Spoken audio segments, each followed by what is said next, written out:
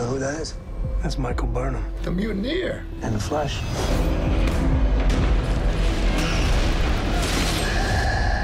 Eight thousand dead in the first two days of war. Eight thousand one hundred and eighty-six.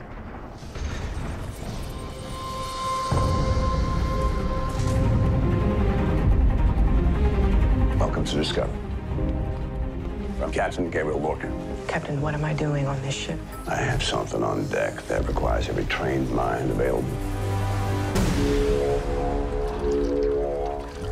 What the hell is going on on this ship?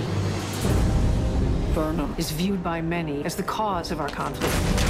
This does nothing for morale. My ship, my way. You're a valuable asset, but you are dangerous. Shields up! Firing main phasers. You seek to destroy the Klingon Empire. But glory must be earned through sacrifice.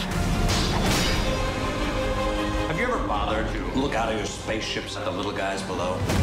Go! There's a lot more of us down there than there are you up here.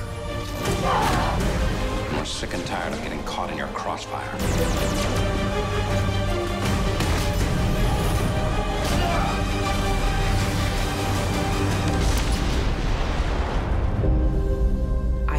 What happened all the time.